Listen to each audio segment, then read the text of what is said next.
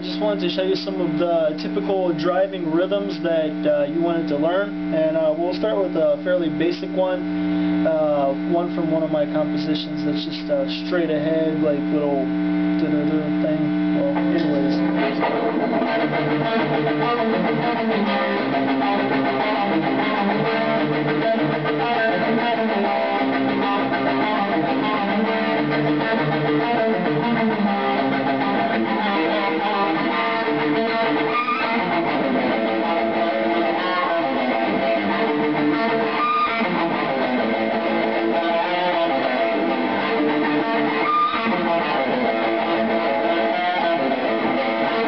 Thank